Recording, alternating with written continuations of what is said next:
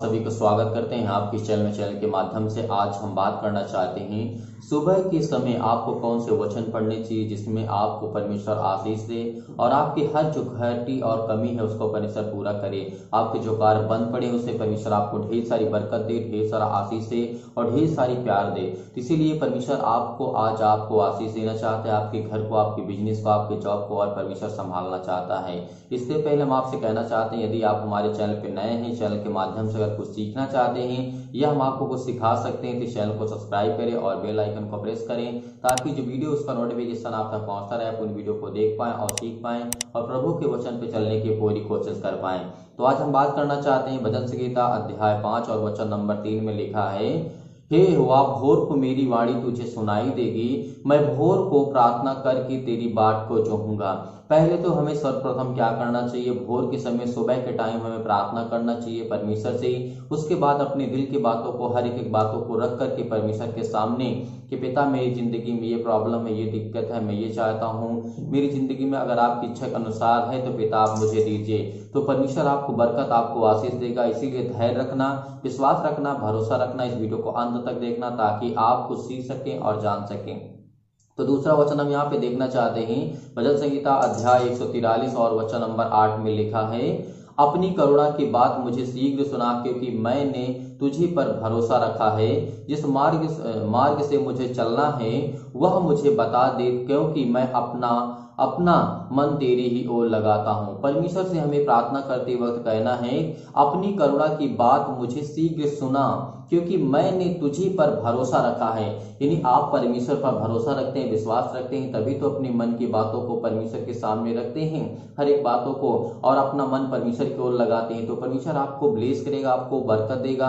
अगर सुबह के टाइम इस वचन को हम इस्तेमाल करते हैं और वचन में पढ़ते हैं, और सुबह के टाइम भोर के समय अगर इस वचन को हम पढ़ते हैं तो हमें परमेश्वर बरकत देगा, हमें आशीष देगा, हमारा विश्वास जो होगा मज़बूत होगा। इसीलिए आपको क्या करना है, सुबह के टाइम इन वचन को ज़रूर ध्यान देना है, और पढ़ना है कि का वचन क्या कहता है। अगला वचन हम यहाँ पे देखना चाहते हैं, जो लिखा है लिपियों की पुस्तक अध्याय चार और वचन नंबर छह में लिखा है, किसी भी बात की चिंता मत करो, परंतु हर एक बात में तुम्हारे निवेदन, प्रार्थना और विनती के द्वारा धन्यवाद के साथ परमेश्वर के सम्मुख उपस्थित किए जाएँ। यानी हमें क्या करना हमें किसी भी बात की चिंता नहीं करना है। यदि हम चिंता करके अपनी ज़िंदगी में कुछ कर सकते हैं तो हम कर लेते हैं नहीं कर सकते हैं। चाहे वो हमारी बीमारी हो, चाहे किसी भी प्रकार का दर्द हो, किसी प्रकार की तकलीफ़ हो, किसी प्रकार की दिक्कत हो, किसी भी प्रकार की प्रॉब्लम क्यों ना हमारी लाइफ में, ज़िंदगी में हो।